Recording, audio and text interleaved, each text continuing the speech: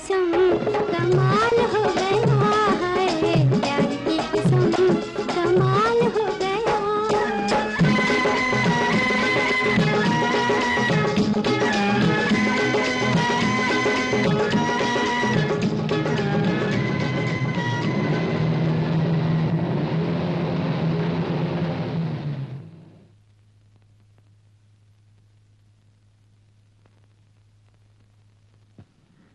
पूछते हैं कि पिकनिक कैसी रही?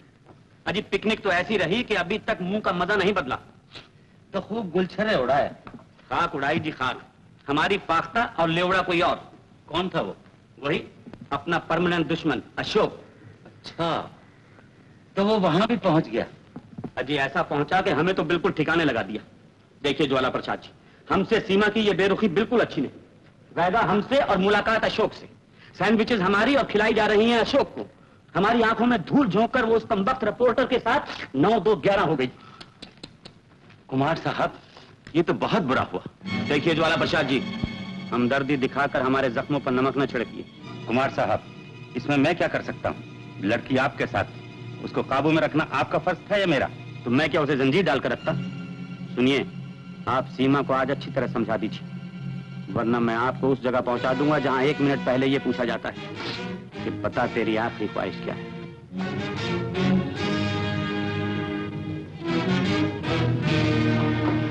Hello Kumar good night Seema बेटी। आई अंकल तुमने मिस्टर कुमार के साथ ही अच्छा नहीं किया। लेकिन बुरा भी तो नहीं किया। तुम पिकनिक में उन्हें बेवकूफ़ बनाकर एक मामूली रिपोर्टर के साथ रफू चक्कर हो गई। कुमार ये कभी बर्दाश्त नहीं कर सकते। अंकल आप उन्हें समझा दीजिए ना कि दही के धोखे में वो चूना ना खा बैठे वरना मुँह कट जाएगा। सीमा वो तुम्हारा मंगेतर है। अशोक के साथ तुम्हारा घूमना फिरना अच्छा नहीं। तुम्हें अपना और अपने खानदान का ख्याल रखना चाहिए। अंकल आप अशोक को एक मामूली रिपोर्टर क्यों समझते हैं? वो एक अच्छे खानदान का लड़का है। मैं मैंने उसे अपनी सालगिरह पे बुलाया है। आप खुद बातचीत कर लीजिएगा। मैं ऐसे इंसान से बातचीत करना ज़रूरी नहीं समझता जो हमारे टुकड़ों पर पलता अंकल चला जा दीवाने का पूछ रहा चला कुछ। अरे पलट राजा कल तो अच्छा था आज क्या हो गया?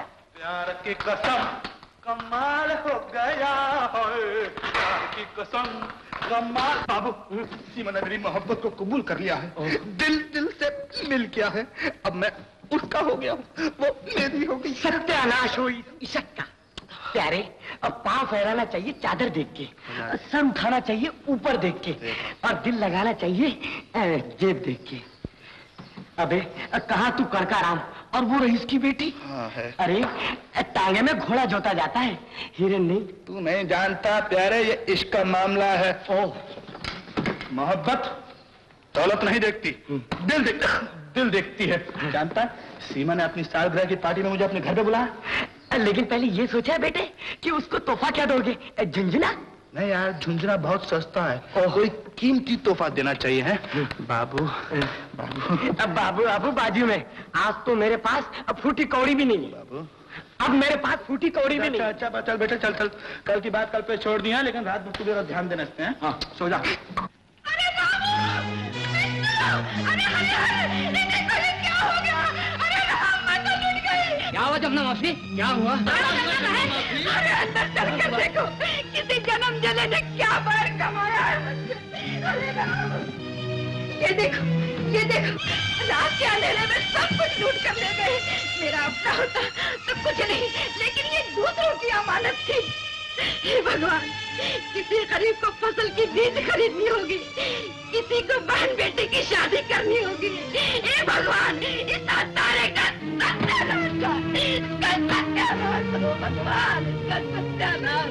बेटी जमुना मौसी इतनी दीवार तोड़ दी चोरों ने।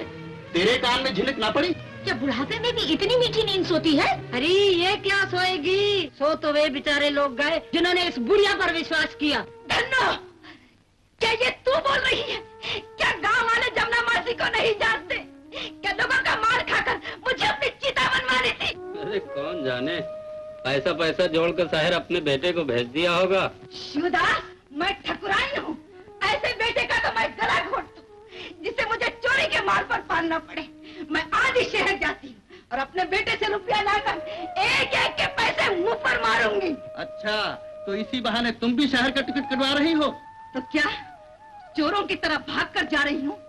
मकान ज़मीन सब कुछ तो मेरा यही है। नहीं आऊँगी तो कर देना सब पर कब्जा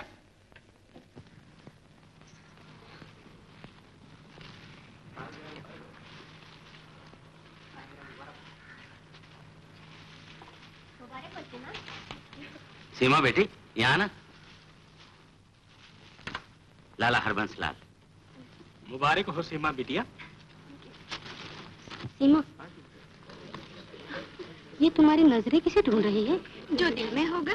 दिल में तो वो पिकनिक वाला ही होगा। मेरा हद से मत गुजरो। लो मैंने कब कुछ कहा? जितनी चिढ़ रही हो बात उतनी ही खुलती जा रही है। सेठ जी मुनीम जी मेरी मजबूरी तो समझिए। दया कीजिए मुझ पर। मैं आपके पाँव पड़ता हूँ। मेरे पचास रुपए वापस लौटा दीजिए। यकीन कीजिए मैंने अपने घर का तार तार बेचकर अपनी महबूबा की सालगिरह पर उसे तोहफा देने के लिए ये पचास रुपए इकट्ठे किए थे। तुमने आज का वादा किया था ना? किया था। तो फिर मेरी मजबूरी देखो मैं सेठ को क्या जवाब दूँगा? आप सेठ जी से कहिएगा कि पचास रुपए से मुनीम जी दूसरी शादी नहीं हो सकती लेकिन पचास रुपए से पहली शादी तो हो सकती है। मुनीम जी अपनी जवानी का जमाना जरा याद कीजिए। आपने भी तो कहीं दिल लगाया होगा। नहीं नहीं हमारे खानदान में किसी ने मोहब्बत अब्बत नहीं की। माना कि आपका खानदान सन्यासियों का खानदान है लेकिन मैं तो दुनियादार इंसान हूँ। मुनीम जी मेरे सीने में जो ज्वालामुखी फूट रही है जरा सोचिए तो सही मैंने मोहब्बत की है। ये पचास रुपए मुझे सिर्फ़ एक महीने के लिए वापस कर दीजिए। अशोक बाबू देखो तुम कितना भी चिल्लाओ लेकिन मेरा दिल पत्थर हो चुका है पत्थर। जय बजरंग बली की। जय बजरंग अगर जानता कि ये होने वाला है तो अपने घर को आग नहीं लगाता मैं। अरे प्यारे प्यारे हो गए भारे न्यारे। प्यारे मैं तेरी महबूबा के लिए एक शानदार तोहफा देख के आया हूँ। क्या? कबाड़ी की दुकान पे। अच्छा। बता दूँ? बताओ। अरे ताजमहल। ताजमहल। तो मुझे क्या कहता है? शाहजहां को खबर कर। मेरे पास जो पचास रुपए थे मुनीम जी ले गए छीन कर मुझसे। तेरी सत्यानाश हो मुनीम जी का। Seema many happy returns of the day माफ़ करना जरा देर हो गई थी मोटर के आगे भैंस आ गई थी। तुम सलामत रहो हज़ार बरस। हर बरस के हो दिन पचास हज़ार। क्यों बदुआ देते हैं कुमार साहब? मैं तो जवानी में मरना चाहती हूँ। हाँ नज़र बदूर मरने के लिए हम जो रह गए हैं। कुछ सूझा?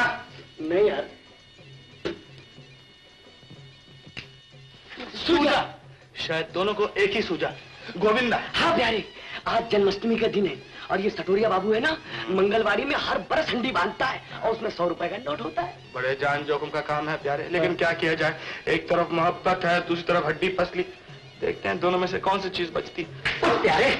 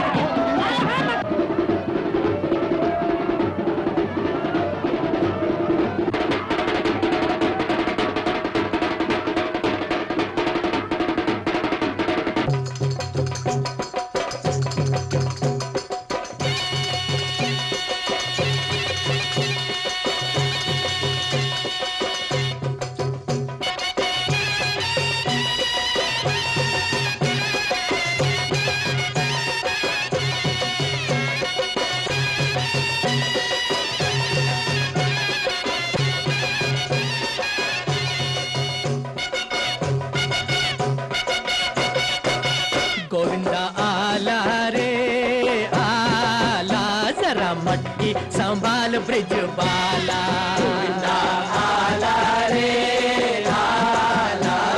मटकी संभाल